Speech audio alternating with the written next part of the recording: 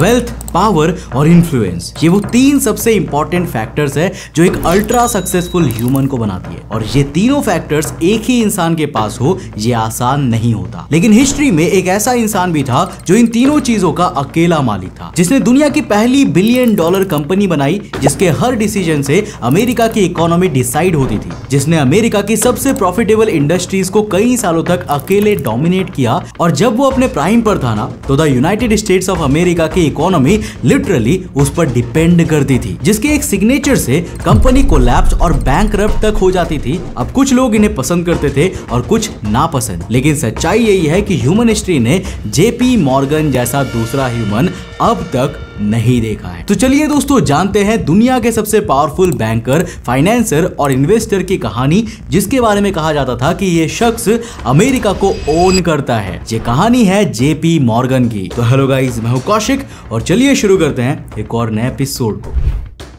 JP Morgan का पूरा नाम जॉन पियर पॉन्ट मॉर्गन था, जिनका जन्म अमेरिका के कनेक्टिकट के हार्टफोर्ड में अप्रैल 17 1837 में एक बहुत ही सम्मानित और अमीर फैमिली में हुआ था। उनकी फैमिली के स्ट्रॉन्ग बैकग्राउंड का अंदाज़ा आप इसी बात से लगा सकते हैं कि उनके maternal relative James Pierpont America की one of the biggest university Yale university के फाउंडर थे। यही नहीं, उनके दादा एटना इंश्योरेंस के फाउंडर थे और फादर जिनका नाम जूनियर स्पेंसर मॉर्गन था, एक successful Hartford based dry goods wholesale की कंपनी चलाते थे, जो बाद में London based merchant banking firm के पार्टनर भी बने। जेपी मॉर्गन बचपन से ही पढ़ाई में काफ़ी तेज थे। उनका इंटरेस्ट मैथ्स में काफ़ी था। उन्होंने बिज़नेस और ग्रेजुएशन अमेरिका के यूरोप के सबसे महँगे कॉलेज में पूरी की। जब वे चौदह साल के थे, तब उनकी पूरी फैमिली बॉस्टन मैसाचुसेट्स में सेटल हो गई थी। वहीं पर उन्होंने अपनी ग्रेजुएशन पूरी की थी। बचपन से ही मॉर्गन को घूमने में काफ़ी इंटरेस्ट था और यही रीजन था कि 15 साल की उम्र तक उन्होंने यूरोप के सभी फ़ेमस सिटीज़ में ट्रैवल कर रखा था। 20 साल की उम्र में अपनी ग्रेजुएशन जर्मनी के यूनिवर्सिटी यूनिवर्सिटी ऑफ़ गॉटिंजन से पूरी करने के बाद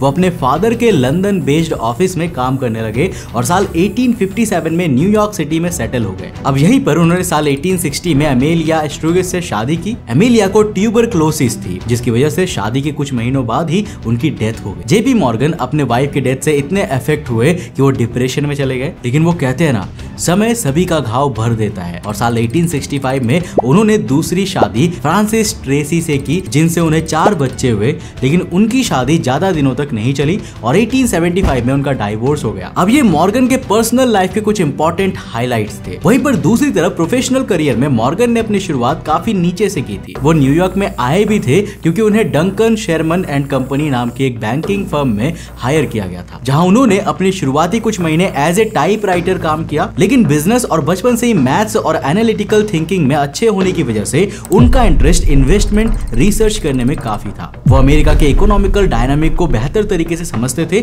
और यही रीजन था कि उनका इंटरेस्ट इन्वेस्टमेंट में काफ़ी था। काफ़ी छोटी उम्र से ही वे इन्वेस्टमेंट में अपने हाथ जमाने लगे थे। उनके शुरुआती इन्वेस्टमेंट्स के कई एग्जांपल्स थे, जैसे कि उन्होंने एक बार न्यू ऑर्लेंस में एक कॉफ़ी के शिप लोड को खरीदा और न्यूयॉर्क में एक मर्चेंट को एक हाई प्रॉफिट रेट पर बेचा। साल 1861 वो साल था जब 24 साल के मॉर्गन ने अपना खुद का इन्वेस्टमेंट फर्म फाउंड किया, जो कि उनके फादर के लंदन फर्म के लिए एक एजेंट की तरह काम करता था, अब जिस साल मॉर्गन ने अपना फर्म स्टैब्लिश किया था ना, उसी साल अमेरिका में सिविल वॉर स्टार्ट हो गया। आमतौर पर वार कभी भी अच्छा नहीं माना जाता, लेकिन जो बिजनेसमैन होते हैं ना, वो जानते हैं की वॉर से भी पैसे बनाए जा सकते हैं। और मॉर्गन ने भी इस दौरान काफ़ी पैसे कमाए। इसके लिए उन पर कई क्रिटिसिज्म भी हुए। उन पर ऐसे इंसान को फाइनेंस करने का आरोप लगा, जो कि अमेरिकन आर्मी को लो लेवल के फायर आर्म्स प्रोवाइड करता था। वहीं पर दूसरी ओर गोल्ड स्पेकुलेशन जिसे एक रिस्की बिज़नेस माना जाता है, उन्होंने उसमें भी अपने हाथ आजमाए और उससे भी काफ़ी प्रॉफिट कमाया। अब अपने बेटे के बिज़नेस माइंड को इतना तेज देखकर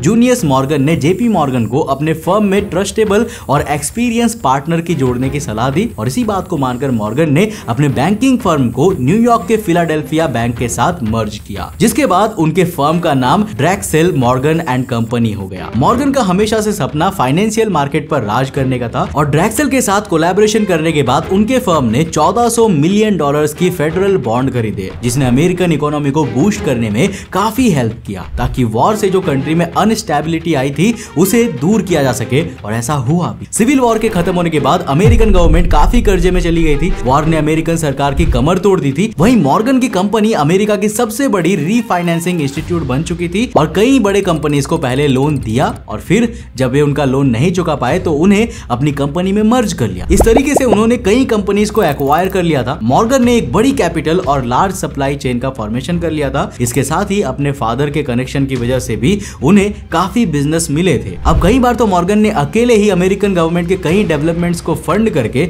उन्हें बचाया था। उनका मकसद गवर्नमेंट के इस तरीके से हेल्प करके पैसा कमाने का नहीं था, बल्कि अमेरिका और दुनिया में अपने इन्फ्लुएंस को बढ़ाना था और अपने देश की मदद करना था। अब अपने इन्फ्लुएंस का फ़ायदा उठाकर ही उन्होंने एडिसन जनरल इलेक्ट्रिक और थॉमसन हाउस इलेक्ट्रिक को एक साथ लाया जनरल इलेक्ट्रिक कंपनी का फॉर्मेशन किया, जो दुनिया की अकेली कंपनी थी जो इलेक्ट्रिकल प्रोडक्ट्स बनाती थी। इसके साथ ही उन्होंने स्टील इंडस्ट्रीज़ में भी सिग्निफिकेंस मर्जर किए। उन्होंने अपनी कंपनी फेडरल स्टील कंपनी को कॉन्ड्रोगी स्टील कंपनी के साथ मर्ज कर दिया और इस तरीके से यूनाइटेड स्टेट स्टील कॉर्पोरेशन का फॉर्मेशन हुआ, जो बाद में दुनिया का सबसे ज़्यादा स्टील प्रोड्यूसिंग कंपनी भी बनी। अब वैसे तो मॉर्गन ने हर मेजर सेक्टर में अपनी पकड़ बना रखी थी, लेकिन उनका हमेशा से मेन फोकस बैंकिंग सेक्टर पर ही था। और सबसे ज़्यादा कंट्रीब्यूशन भी बैंकिंग सेक्टर में ही उनका था। जिस दौरान अमेरिका में नए बैंक खुल रहे थे और उनकी ब्रांचेस अक्रॉस नेशन खुल रही थी, तब मॉर्गन की जेपी मॉर्गन चेज बैंक का एसोसिएशन इन बैंक के साथ हमेशा रहा। एग्ज़ाम्पल के लिए जेपी मॉर्गन चेज बैंक ने दी वेस्टर्न रिज़र्व बैंक को सबसे पहली बार ओहायो स्टेट में एस्टेब्लिश कराया। इसके साथ ही था second bank of India and field Marine and fire insurance को इलेनॉय शहर में स्टैब्लिश किया, जिसके पहले कस्टमर अब्राहम लिंकन थे, जिन्होंने बैंक में 310 डॉलर्स डिपॉजिट कराए थे। साल 1876 में उन्होंने अमेरिकन प्रेसिडेंट इलेक्शन में रदरफोर्ड हाइस के कैंपेन को सपोर्ट किया और उनके फर्म में 5000 डॉलर्स का डोनेशन भी किया अब मॉर्गन का रदरफोर्ड को सपोर्ट करने का एकमात्र कारण इकोनॉमिकल परस्पेक्टिव से था। उनका यह मानना था कि अगर रदरफोर्ड इलेक्शन में हारते हैं तो अमेरिका में इन्फ्लेशन काफ़ी तेज़ी से बढ़ेगा और वो उनके बिज़नेस को बुरी तरीके से इफ़ेक्ट करेगी। मॉर्गन फ्यूचर को रीड करना जानते थे, वो जानते थे कि फ्यूचर किस तरफ़ जा रहा है, उसकी जरूरतें क्या होने वाली है और यही रीजन था कि उन्होंने स्ट्रीम लाइन यानी कि रेल रोड को एक इंडस्ट्री की तरह देखा और अमेरिकन इकोनॉमी में उसके वित्तल इफ़ेक्ट को भी समझा और उसे एक्वायर करना शुरू कर दिया। अब मॉर्गन के रेल रोड प्रोजेक्ट को ना मॉर्गनाइजेशन के नाम से भी जाना जाता है। अपने मौत के समय से पहले मॉर्गन अमेरिका के रेल रोड नेटवर्क का one six part directly control करते थे। जिस समय रेल रोड नेटवर्क पूरा होने के अपने आखिर समय पर था, तब मॉर्गन ने कई बड़े बड़े मर्जर्स किए, जिनमें General Electric US Steel and International Harvesters सबसे इंपॉर्टेंट थे। जेपी मॉर्गन एंड कंपनी इस समय दुनिया के सबसे स्ट्रॉन्गेस्ट इन्वेस्टमेंट बैंक बन चुका था और मॉर्गन का नाम इतिहास के सबसे सिग्निफिकेंट और पावरफुल बैंकर में दर्ज हो चुका था। लेकिन कहते हैं ना बिज़नेस इज़ बिज़नेस जिसमें आप अपने फ़ायदे के लिए कई बार कुछ ऐसा कर जाते हैं जो आपके लिए फ़ायदेमंद हो, लेकिन सोसाइटी के एक बहुत बड़े हिस्से को उससे नुकसान ही होता है। जेपी मॉर्गन चाहे अपने समय के सबसे पावरफुल बैंकर और फाइनेंसर रहे हो, लेकिन वो भी रॉबर बैरन टर्म से नहीं बच सके। देखो साल नाइनटीन सेंचुरी में ना रॉबर बैरन इस वर्ड का इस्तेमाल उन इंडस्ट्रियलिस्ट के लिए होता था, जिनके बिज़नेस डिसीज़न और प्रैक्टिसेस काफ़ी रथलेस और अनएथिकल माने जाते थे। JP Morgan, Cornelius Vanderbilt, John D Rockefeller जैसे बिजनेसमैन के साथ रॉबर बैरन टर्म हमेशा यूज़ होता था, जो अपने बिज़नेस और फ़ायदे के लिए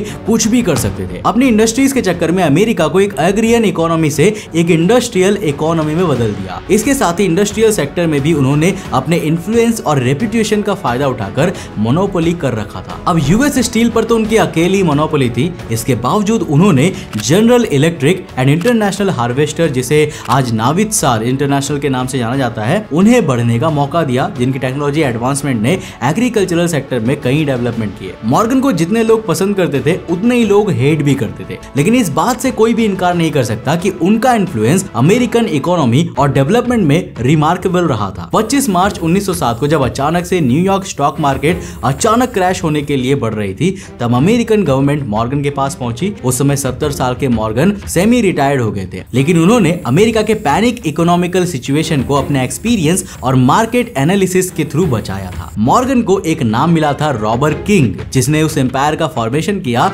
जिसे टक्कर आज भी कोई नहीं दे सकता। इतने सालों तक दुनिया की सबसे पावरफुल कंट्री की इकोनॉमी पर राज करना एक नामुमकिन काम था, जिसे मॉर्गन ने पूरा किया। था। वॉल स्ट्रीट के इस पावरफुल पर्सन की डेथ मार्च 1913 में रोम के एक होटल में हुई थी जिस समय उनकी मौत हुई थी, तब उनकी पर्सनल नेटवर्थ 80 मिलियन थी। ज़्यादा नहीं लग रहा है ना? लेकिन ध्यान रखिए, ये 80 मिलियन 1913 के टाइम में था, जो आज के टाइम में लगभग 2.3 बिलियन डॉलर्स के करीब होगी जबकि दोस्तों, कुछ स्पेक्यूलेशन के अकॉर्डिंग अपने पीक पर मॉर्गन का फॉर्च्यून आज के टाइम के डॉलर में प्रिडिक्ट किया जाए तो अराउंड 60 बिलियन डॉलर्स के करीब होगी। अपने लाइफ में मॉर्गन ने कई रोल निभाए बैंकर फाइनेंसर रॉबर बैरन और एक हीरो का आज अमेरिकन वॉल स्ट्रीट कई मल्टीनेशनल कंपनीज़ कॉर्पोरेशन के द्वारा कंट्रोल किया जाता है, लेकिन मॉर्गन अपने टाइम पर अकेले कंट्रोल करते थे। अकेले एक इंसान पूरे वॉल स्ट्रीट को कंट्रोल करे, शायद ही कभी ये फ्यूचर में हो पाए। वैसे दोस्तों, कैसी लगी आपको जेपी मॉर्गन की ये कहानी? अगर वीडियो पसंद आया तो इसे लाइक कर देना